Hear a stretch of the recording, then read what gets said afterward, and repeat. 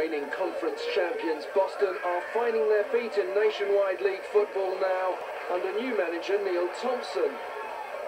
Former Oxford United striker Simon Weatherstone fired them in front against Rochdale. And the same man might have added Boston's second. But didn't. Tony Battersby was on hand though to net his first league goal since joining from Lincoln. Nine minutes from the end, Dale pulled one back through David Flitcroft. But they couldn't avoid a third defeat in eight days. Stuart Douglas scored number three to seal league win number three on the trot. Almost time for a Boston 3 party. Boston 3, Rochdale 1.